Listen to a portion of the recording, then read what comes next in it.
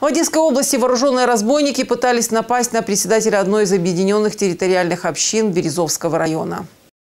Двое мужчин вооружились пистолетом, надели маски с перчатками и даже взяли с собой скотч и пошли, как говорится, на дело – совершать нападение в дом главы Новокольчевской сельской громады. Сообщники четко распределили между собой роли. Они при помощи лома взломали двери дома, проникли внутрь, где и были задержаны правоохранителями, несмотря на вооруженное сопротивление. Как оказалось, копы еще на стадии подготовки обо всем узнали и подправили план злоумышленников.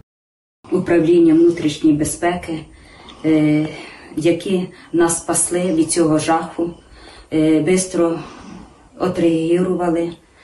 Е, і факт тому, що бандити були спіймані. Я їм дуже-дуже вдячна за сьогоднішній їхній поступок. І я бажаю їм просто міцного здоров'я, натхнення, і щоб у них не було такі безсонні ночі. Один из разбойников, 27-летний житель Одесской области, имел при себе поддельный паспорт. Он уже разыскивался правоохранителями за аналогичное преступление. Вот такая насыщенная ночь выдалась у председателя одной из объединенных территориальных общин Березовского района. Но хорошо то, что хорошо заканчивается.